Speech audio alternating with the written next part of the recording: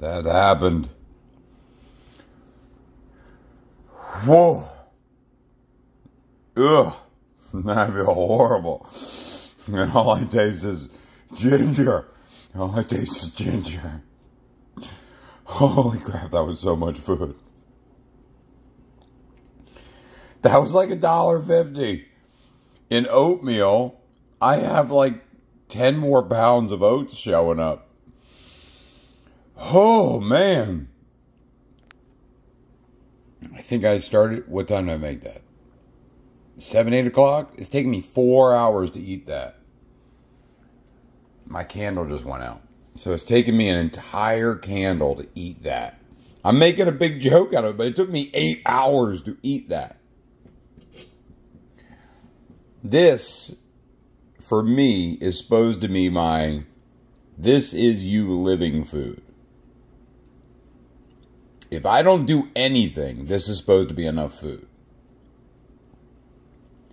So I did extra stuff already. Some singing and that bow thing, which was really me warming up to do rings. I'm going to do metal rings and just hold poses for my shoulders. I never did the flick and arrow things. I've just been going out there and visualizing arrows because I don't really need to.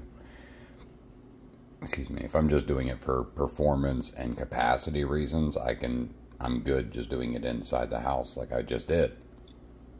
What I just did was the equivalent of pulling my bow like 300 times. So I'm good as far as an archer goes. I can fire it upside down backwards while laying down while you're taking a nap. That was just me stretching. So if I did that once a week, boom, I can hit anything with my bow. Physically, I can hit anything with my bow. Everything else is trajectory, windage, everything else. This allows me to do that. If I eat any of my leftovers, that's because I was able to go for a bike ride or do more activities.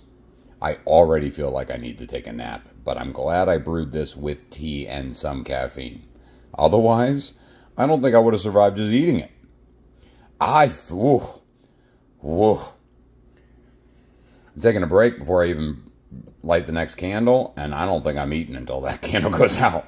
That was a lot of food. That was just that was just stupid amount of food. Okay, good talk.